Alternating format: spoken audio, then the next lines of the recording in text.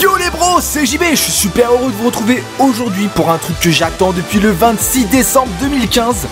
J'ai enfin reçu la version européenne de Tokyo Mirage Session sur Wii U. Enfin, Tokyo Mirage Session Sharp FI dans son vrai nom complet. Pour ceux qui savent pas, c'est un RPG au tour par tour basé sur un mélange entre l'univers de Fire Emblem et l'univers de Persona, même de Shin Megami Tensei en général, mais on va dire Persona. J'attends ce jeu depuis très très très longtemps. Sincèrement, c'est un jeu que je sais pas comment est-ce que je pourrais dire? Je n'attendais que ça. Donc bien sûr, il va y avoir beaucoup de détracteurs pour ce jeu parce que malheureusement, il traite d'un sujet qui en Europe, même aux États-Unis, n'est pas très courant. Il traite quand même du monde de la J-pop, des idols, des, super-héros euh, style Power Rangers, Kamen Rider. Donc en fait, c'est un concentré de tout ce qui fait que le Japon est le Japon. Mais bon, parlons plutôt de cette box collector, la Fortissimo donc, qui comprend une petite OST de 6 morceaux. Donc si c'est comme la japonaise, c'est 6 morceaux plus, il me semble, 7 morceaux de blabla, de test audio, de voix de personnages. Le jeu, évidemment.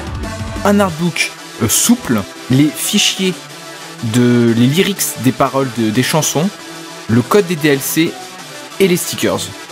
Donc c'est pas une collector de malade comme on peut voir pour certains jeux comme euh, par exemple The Witcher ou quoi, mais c'est pas mal.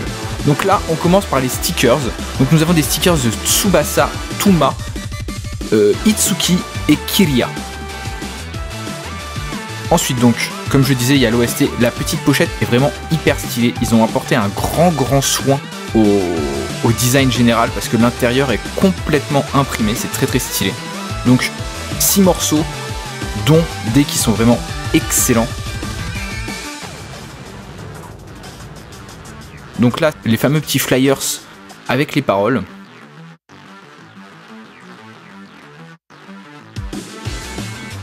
Donc Black Rain, qui est, je pense, l'une des meilleures chansons de l'OST de ce jeu. Bon, il y en a qui sont vraiment ouf aussi, mais celle-là est plutôt pas mal. Celle-là, c'est la Tikiloid. Pour ceux qui ont vu mon unboxing des cartes, ils l'ont vu. Et donc derrière, nous avons, comme je disais, les paroles avec à chaque fois le style de l'avant qui est repris pour euh, habiller euh, ces petits flyers.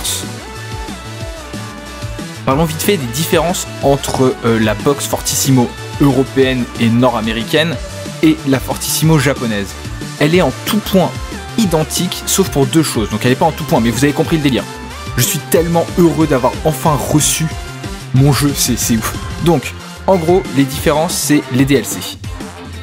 Donc voilà, donc ici, en Europe, nous avons Walter de SMT4 pour Tuma, le protagoniste de Devil Survivor 2 pour Itsuki, Rei de Persona Q pour Tsubasa, et une tenue de princesse qui vient d'Etrian Odyssey pour Kiria.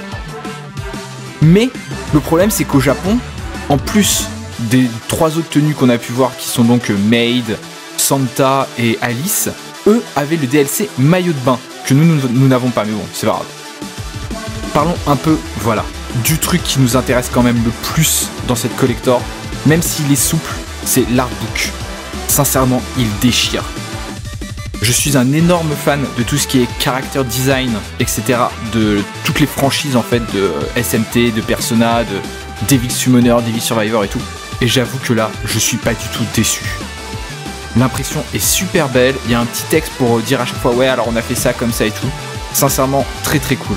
Bon, je vais pas vous montrer l'intégralité de cet artbook parce qu'il est vraiment très très stylé, mais je risque de vous spoiler pas mal de trucs, donc on va s'arrêter là. Et je viens juste de repenser à un truc, en fait j'ai oublié de vous dire que la deuxième différence avec la Fortissimo japonaise, c'était la carte collector de Tsubasa, et donc ça on l'a pas parce que Cypher en France ça n'existe pas.